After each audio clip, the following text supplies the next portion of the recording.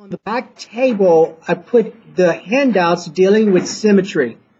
So um, when we remember that's the one I, I asked you to look at the video, but I didn't print out the handouts for you, but they're back there now. So that's the stuff on symmetry and the even, odd, or neither. Um, so let's suppose you had this function. All right, let's suppose that g of x is is um, 5x to the fifth minus 2x cubed. And I'm telling you that, that this function is symmetric with respect to the origin.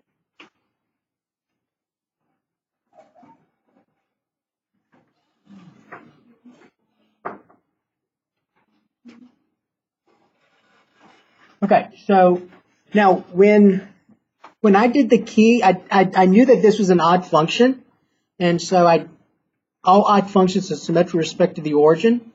And so I did the key knowing that this was odd function, but you're not always going to know this is odd function. So, and y is not always going to be by itself. So, um, the way you want to do this to determine if symmetry with respect to the origin is this. Now, in what, on that handout that's on that table, one of those pages, it tells you what to do. Who has theirs right away? The, the, the one that.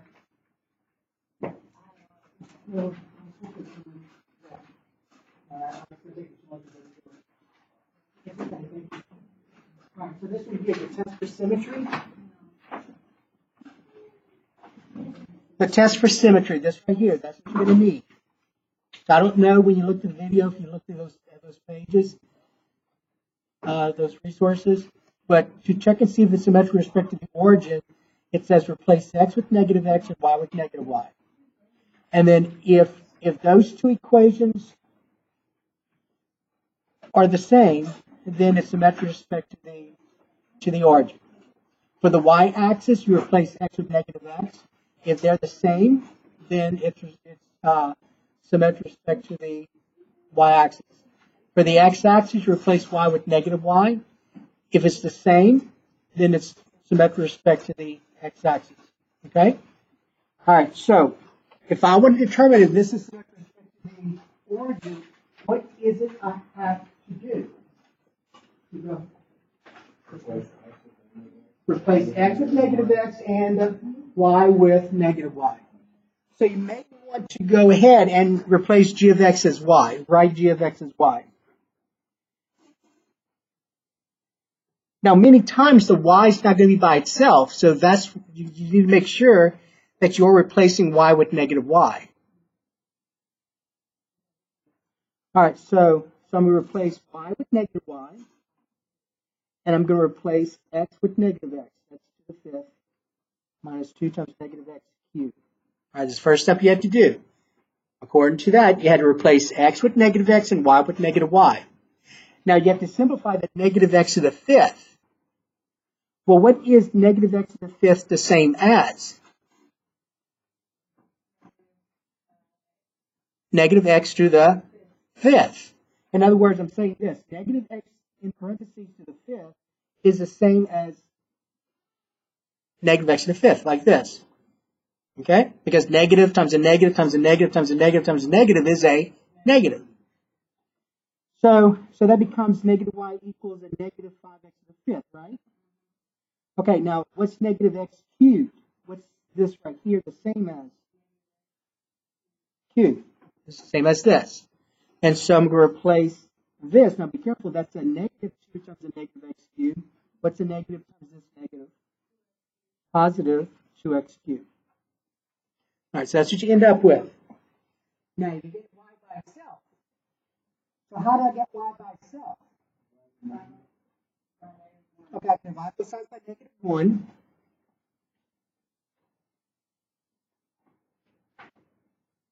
So just go ahead and rewrite this.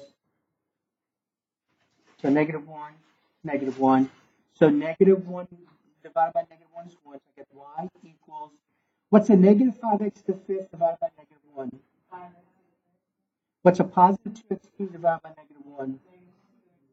All right, now you compare that with the original. What do you know?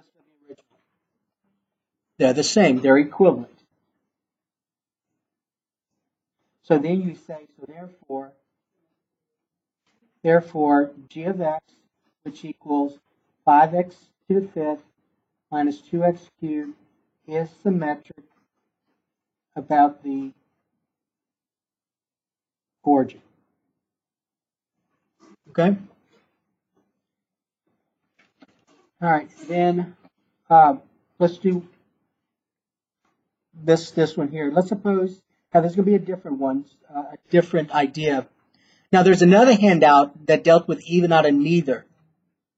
So so on that one, do you have yours?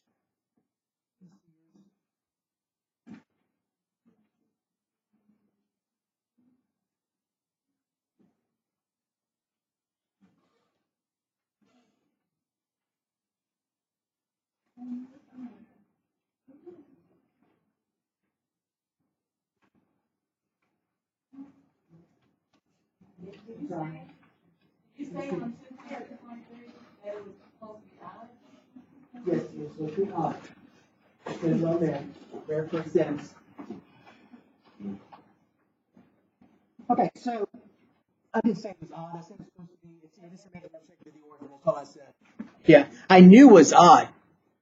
So that that's why I did it this way on the key. So I'm gonna have to redo the key based on not knowing that it was odd. But if if a function is even, to see if it's even, you replace x with negative x for both of them, even and odd. Okay? And so if if you get the original function back, then it's even. If you get the opposite of the original function, then it's odd. Okay? So for example, suppose you had um, g of x equals um, negative 2x cubed minus 7x or plus 7x. And then I want to know, is this function, is this an odd function? No, no, no, forget about that. Because um, all right, so no, don't, don't, don't check with, don't do it that way. It's easier just to, to replace x with what? Negative x. Okay? Um, all right, so, so I'm going to say g of negative x is equal to negative 2 times negative x cubed plus 7 times negative x. And so g of negative x is equal, again, what's negative x in parentheses cubed? Times a negative 2 is a positive 2. So this becomes this, and this becomes that. Now compare that with the original. What do you notice about the original? What is about the original? Okay, but what else do you notice? That be more specific. I understand they're not the same. The terms aren't the same. What do you notice about the terms? They're opposites. So if the terms are opposites, then the function is odd. That's what this is saying right here. This is saying, you see that negative f of x? That says that every term is the opposite of the original f of x.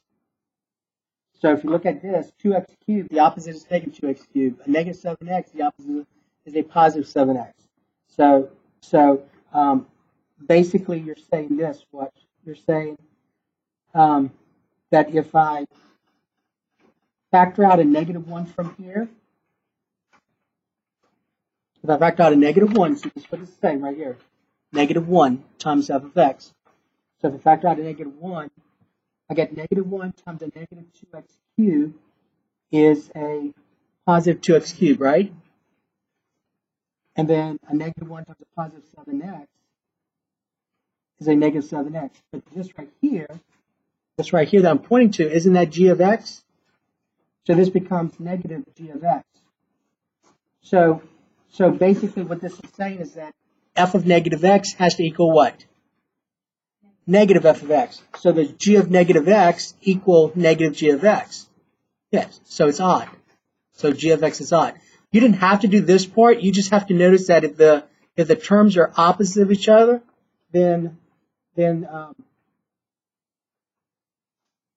g of x is what kind of function? odd function. Right, so there are two things that you dealt with with this in this lesson. You dealt with symmetry and you dealt with even odd functions.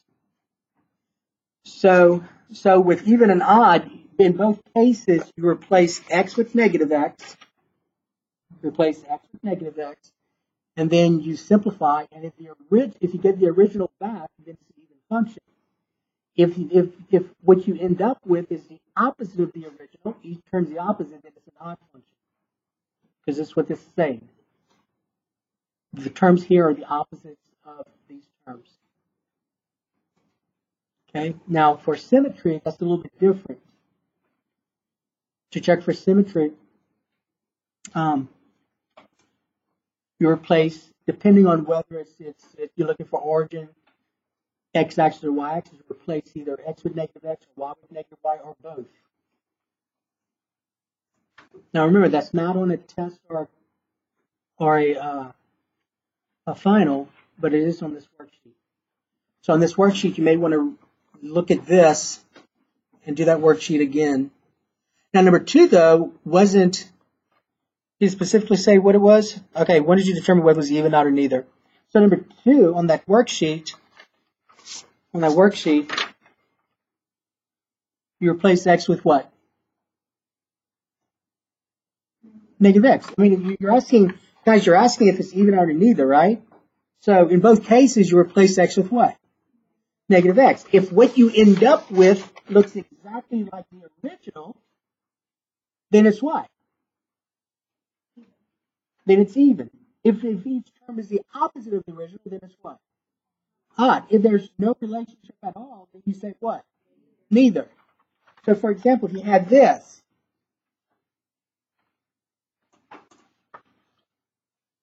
I suppose you had this. Suppose you wanted to know if if um, g of x, which equals 2x cubed minus 7x plus 2 is even, odd, or neither. To determine that, you first have to replace what? Replace x with negative x.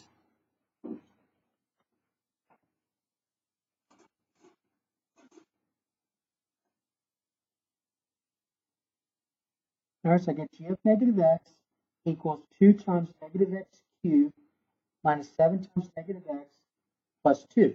Correct? So what's negative x cubed, though? Negative x cubed times 2 is a what? Negative 2x cubed. What's a negative 7 times a negative x? And then plus 2, correct? All right, now, is this, does this look exactly like the original? No. If it did, then you would say g of x is a what? Even function. Does each term, is each term the opposite of the original? No, it's not. The 2. If the 2 wasn't there, the constant wasn't there, then it would be, right? Then you would say g of x is what? An odd function. But you have this constant there, and so each term, well, I should say all terms are not the opposite of the original. So what do you say about g of x? Okay, so, right, so uh, g of x is neither even nor odd. Okay? Just kind of like that quadratic, when we dealt with quadratics. So if, uh, if you have this quadratic function,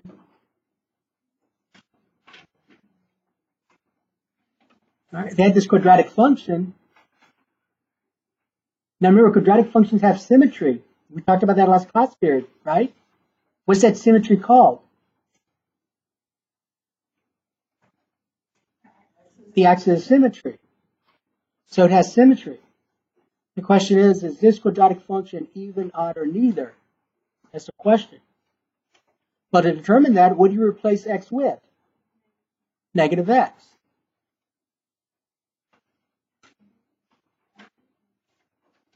So I get f of negative x will equal 2 times negative x squared minus 3 times negative x plus 1. What's a negative x times itself, a positive x squared. What's a positive x squared times 2? 2x squared. What's a negative 3 times a negative x? And then plus 1. Now compare that with the original. What do you notice?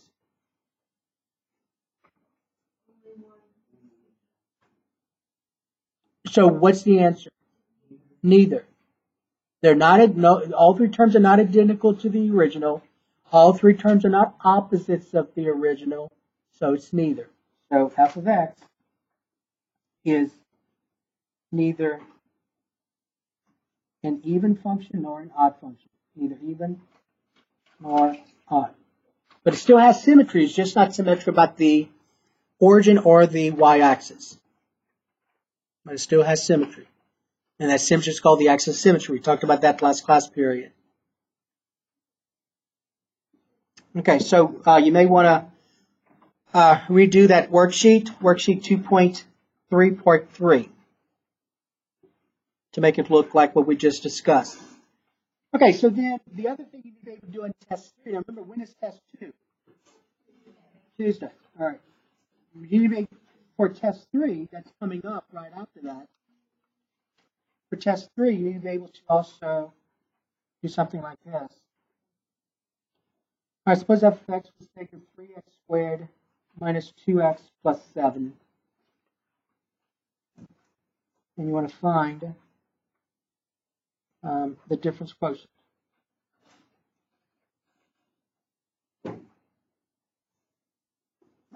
So since it's quadratic, this is a little bit more involved, but you need to be able to do this. So I'll give you the difference quotient. You just need to be able to use it. Okay, this is yours. You want to pick it up, Nagin? That's the uh, the symmetry. You may want to redo number one. Okay, find the difference quotient. What's the difference quotient?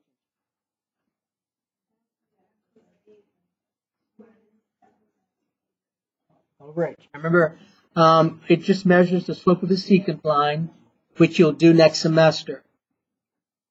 So in here, you just got to be able to know how to how to compute the difference quotient.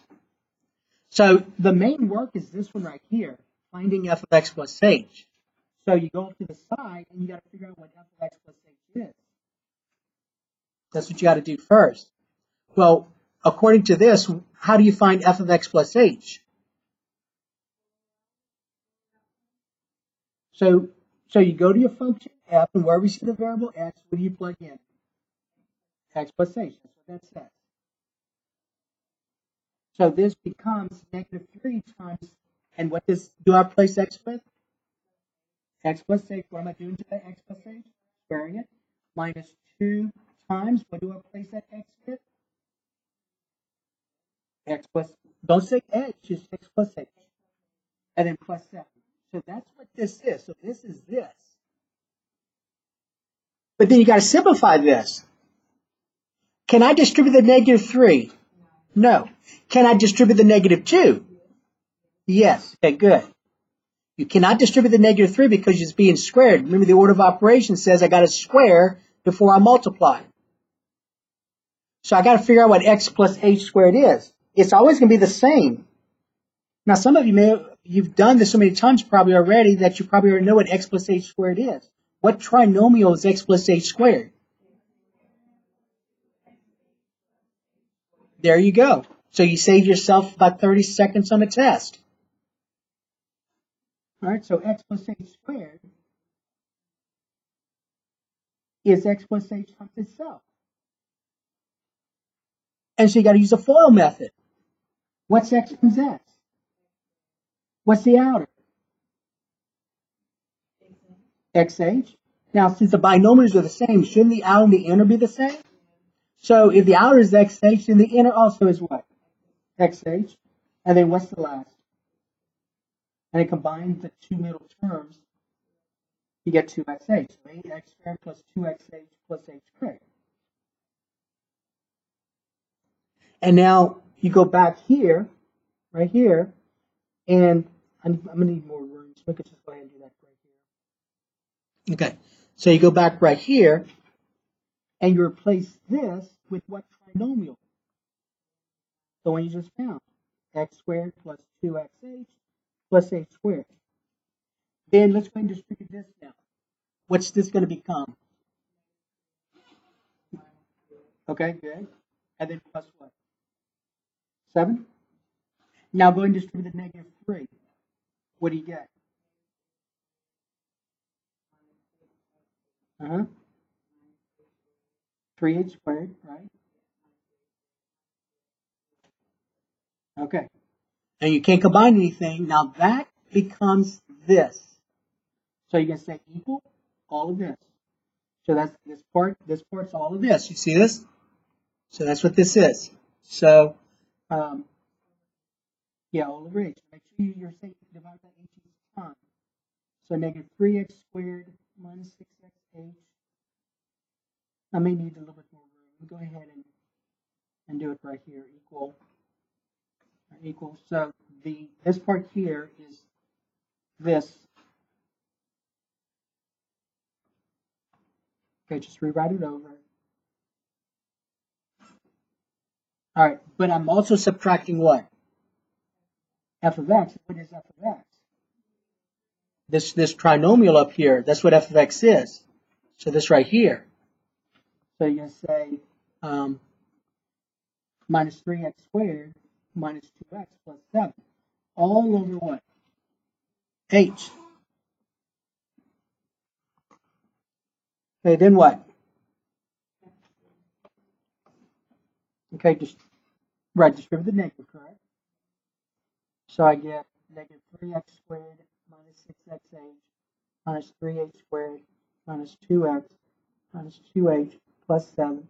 And this becomes minus 7 all over h. Now, if you had said plus 7, you would have realized you did something wrong. But at this point, any term that does not have a factor of h, its opposite better be there. So negative 3x squared, what do you see?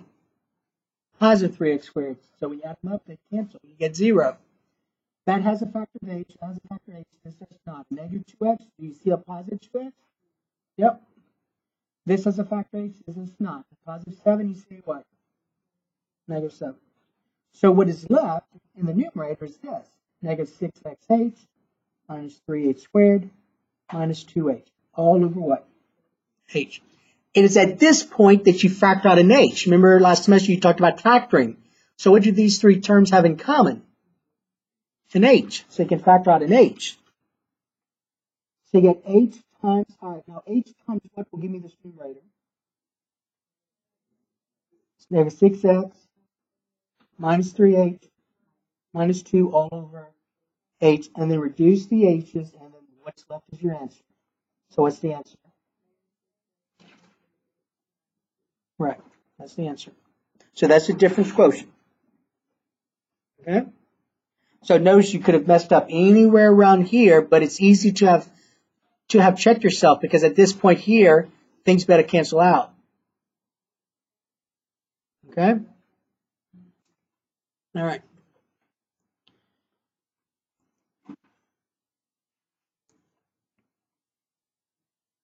Okay, question this point. So that's test three.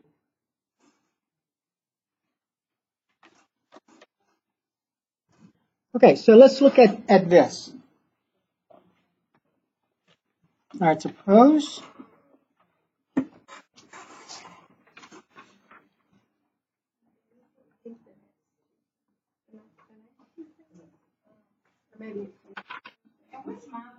Test three is the next I'm sorry, wait, too many questions. What was the, fir- what's the first one? Oh, that's right. I forgot. I forgot it's your birthday. Test three, the nineteenth. Yes. Okay.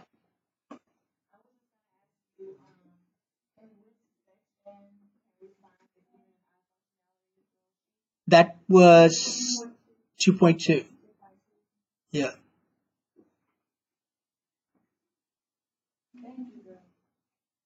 All right. Um, so f of x equal, let's say, negative 2x squared minus 8x plus 5.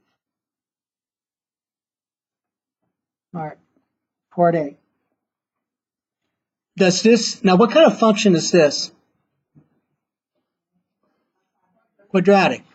So the shape is, is the shape of, of what? Parabola. Okay, good. So it's a parabola. Now is this parabola going to open up or down? Opens down. How do you know it opens down? Because A is negative. A tells you whether it opens up or down. So remember, uh, what form is this called right here? Nope. Standard form is that vertex form. That's general. So general form is where you had this, ax squared plus bx plus c. That's general form.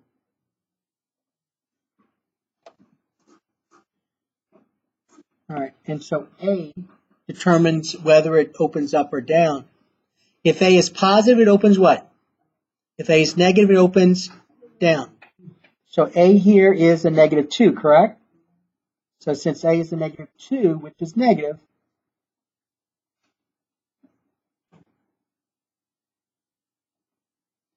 um, the parabola will open, parabola opens down, right? Okay. B, vertex. How do you find the vertex?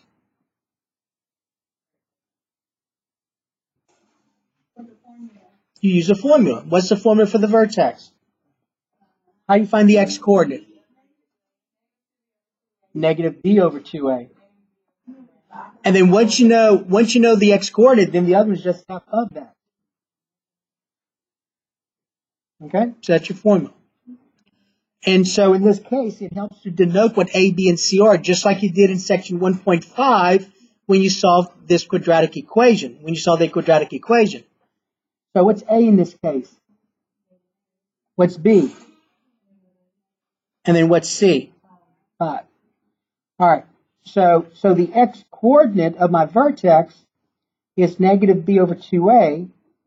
So this says I take the opposite of b. Well, if b is a negative 8, then the opposite of that is a positive 8 over 2 times a, and a is negative 2.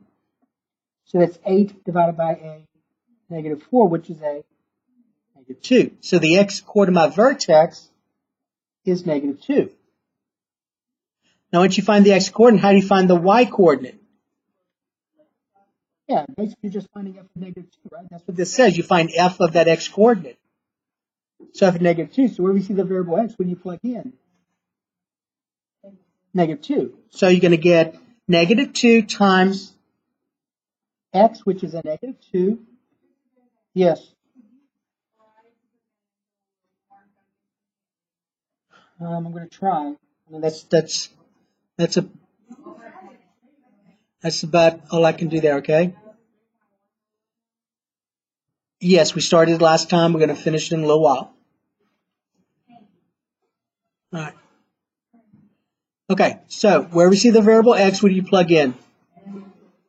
All right, so I get uh, negative 2 times negative 2 squared minus a times negative 2 plus 5, right? So what's negative 2 squared? 4 times the negative uh, 2 is a. This is a. Has 16 plus 5, correct? And so this is 8 plus 5, which is 13. So my vertex is negative 2, 13. All right. Okay, C. Um, let's now remember a quadratic function is always going to have a y-intercept. And if in general form, what is it going to be? Just C. Right, if it's in general form, if the equation is general form, it's just C. Now to find the y-intercept, you're going to let x be what? Zero. Now if it was in standard form, you would actually have to substitute zero for x. But if it's a general form, remember, the, uh, this x term goes away, this x term goes away, you're left with what? C. Um, so, so it's just 5. But all you had to do, so the y-intercept, all you had to do is replace x with uh, 0. So you get negative 2 times 0 squared minus 8 times 0 plus 5. So that's just 5. So your y-intercept is 5. Now they asked you to put as an ordered pair, and some of you are not reading your directions. So one of the worksheets it said write the intercepts as ordered pairs, and you, some of you did not. So if they ask you to write this as an ordered pair, how do you write this? Zero five. As an ordered pair, you read zero five. Make sure you read the directions. Okay, now we got to find the x-intercept, if any. Are you going to have any x-intercepts, and how can you tell? No, because the Bible is, so it doesn't cross the Okay, y'all agree? She says it doesn't cross the x-axis. Okay, I, I, I, I agree with, with you not disagree. it doesn't. Where, what do you look at? The quadrant in which the vertex is located. Where's the vertex located? What quadrant? No, not one, guys. Come on. Where's negative 213 located? oh, my lord, guys. Come on. I see that. You, y'all, y'all. Yes. Negative 213 is here. Right? That's the second quadrant. What? Why y'all say? Well, I'm I'm so confused with what you're telling me. The first one. What are you talking about? The first one.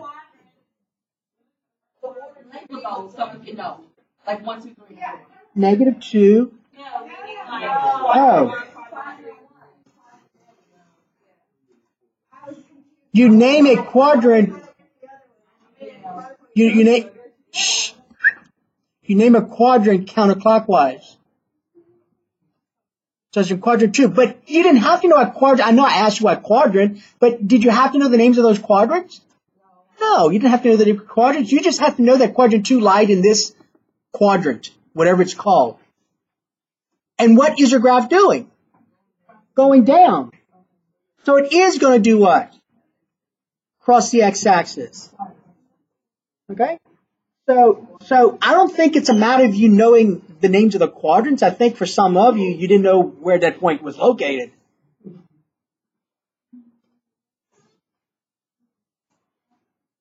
Okay, so am I going to have x-intercepts? Yes, so I've got to find them. So we're going to let, x, uh, let y equal 0. Now, what over here stands for y? Okay, that right here. So that means I've got to set this whole thing equal to what? 0. So I got to solve this, this quadratic equation. Uh, negative 2x squared minus 8x plus 5 equals 0. So I got to solve this. So how I'm going to solve this? Quadratic formula. Quadratic formula. What's A in this case? What's B? And what's C? What's the quadratic formula?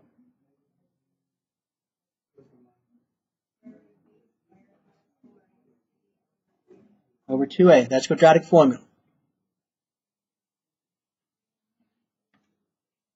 All right. Now, so my x-intercepts are going to equal. All right, so this says I take the opposite of b. What's the opposite of b? 8 plus or minus the square root of b, which is negative 8 squared, put that in parentheses, minus 4 times a, a is negative 2 times c, which is 5, all over 2 times a, what's a? Negative 2. All right. And then this should not be an issue because you had this in that first test where you solve a quadratic equation using the quadratic formula. So you got to simplify the discriminant. So negative 8 squared is positive 64. Remember, p squared is always positive or 0. It's never negative. Okay, a negative times a negative times a positive. Okay, 4 times 2 times 5, 40 over negative 4. So I get 8 plus or minus the square root of 104 over negative 4. Okay, now remember when you actually took the first test, you were told to simplify this if you could. All right, for, for the x-intercepts, don't worry about simplifying this. Just use your calculator to approximate these. because you're interested in determining where does the graph cross the x-axis. Okay, so so basically for for the first one, for the first one you're saying eight plus the square root of 104 divided by what? Negative four. So you're approximating that x-intercept. And the second one you're saying eight what? Minus the square root of 104 over negative four, and you're going to approximate that and approximate that to the nearest tenth. So in your calculator, and you probably can't see this, but on your calculator, you're going to say 8 plus the square root 104, close the parentheses, and then press equal. When I press equal, this decimal that you can't see, this uh, this decimal represents what? Yeah, but what part of the what part of this does it represent? The numerator. That's the numerator. So now I got to divide by. So you say divide by, and what do I divide by? Negative four. And then approximate this nearest tenth. What is one of my x uh, intercepts approximately equal to? Negative 4.5. Is that correct? All right, then we do the other one. So the other one you're going to say 8 minus the square root of 104, close the parentheses, press equal, and you get this decimal. What does that decimal represent? The numerator. But then you got to divide by what? Negative 4. And then the other x-intercept is 0.5, right? Okay, so those are your two x-intercepts approximated to the nearest to the nearest tenth.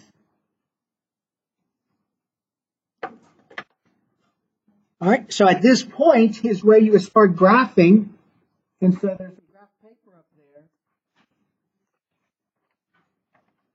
So, so what is the first thing I should graph? The vertex. What's the vertex? Birthday girl. Negative two. Negative two what? Thirteen. Thirteen. Now I don't have enough room, so I'm going to have to estimate this. So let's say, um, so let's say negative 213 is here.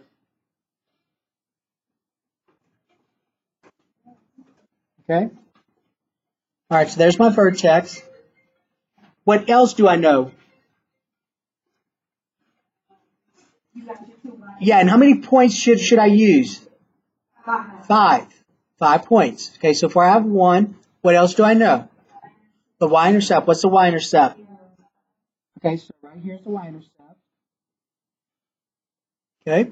What else do I know? My two x-intercepts. Um, 0.5 is is right in the middle of 0 and 1, right? And the negative 4.5 is about here, between negative 5 and negative 4. Okay? What else should I do at this point?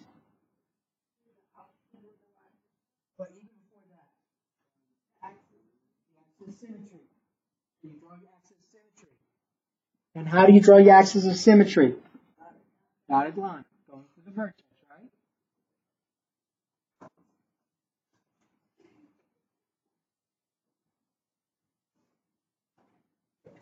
Okay, so there's my axis of symmetry. Um, and then, so so do you see how this x-intercept? See how it's like it's on two and a half units from the axis of symmetry? So does this look like the same distance? Okay. So so every point on this side of the graph should be symmetrical to uh, the points on this side. So basically, you just take the y-intercept that you found. How many units is it from the axis symmetry? No, this one here, the y y-intercept, two. So you, you reflect it about the axis symmetry, and you get this point here, right? And that distance same as that distance. Um, so right here, and then all you do now is just do the best, best you can with drawing your parabola. Just do the best you can.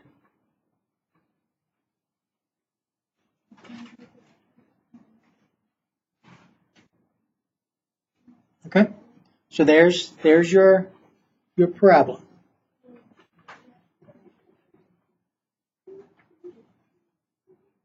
All right. And so, so what is the axis of symmetry? So the axis of symmetry. To find the axis of symmetry, what is it you need to know? And what's the vertex? And the axis of symmetry is just the x coordinate, correct? What kind of line is the axis of symmetry? Vertical, how do you name a vertical line? X equal, and x equal what? Negative 2. So there's your axis of symmetry. Don't just say negative 2, you gotta say x equal negative 2. And then F was the graph, which we already did. Okay, G, what's a domain? Yeah, so so remember your your your parabolas, your quadratic functions, either they're going up or they're going down, right? And so so regardless of whether they're going up or down, every point on that graph is going to have an is to have a real number for the x coordinate. Any real number will apply. So you're actually going from negative infinity to what? Positive infinity. So one million, I'm going to get a point in the graph. It's to be way down there, but I'll get a point in the graph. So, so every real number for x is going to be on the, on this graph. That's not true for the for the range. In this particular case, the arrows are pointing down, so my range is going from where? Negative infinity, and then it stops when y is what? 13. And um, remember, for domain and range, you're going to use brackets with numbers. Now, we always going to use parentheses with infinity, negative infinity. So this is going to be negative infinity to what? 13 with a bracket. Make sure you go from smallest to largest. Don't say 13 to negative infinity. It's negative infinity to 13 with a bracket. And then what if they ask you to determine where's it increasing, decreasing, or constant? Well, it's not constant. This is do increasing, decreasing. So remember, to determine the increasing, decreasing, you're going to use your domain. A domain's all real numbers, right? This dotted line divides the x-axis into how many intervals? This this axis symmetry divides the, the divides the x-axis to how many intervals? Two. From negative infinity to negative two, what are my y values doing? Increasing. And then from negative two to infinity, what are my y values doing? Decreasing. So uh, increasing from negative infinity to to negative 2 and decreasing from negative 2 to infinity. And remember, increasing, decreasing, you're talking about open intervals. It's only domain and range that you're going to be using a bracket at this point. Okay? All right, so that was that. So we did one like this last class period. We did we did two with with uh, vertex form. So if you went here last class period, there were probably about four or five of you, you need to get the notes from over there. And you look at the videos that deal with this. Okay, so this is on test three. It's on test three. All right? Okay. Any questions at this point? Yes. No, that's called general form. General form. Standard form is that vertex form. Standard form is this. That's y equals a times x minus a squared plus k. That's standard form. So I'll do another one with standard form next class period. But I need for you to start working on those worksheets with this. So I did two of these and now I did two of these. Okay? And then there's some more in those videos if you need more you look at more of those. Okay. Now, let's start looking at transformations. Now, I asked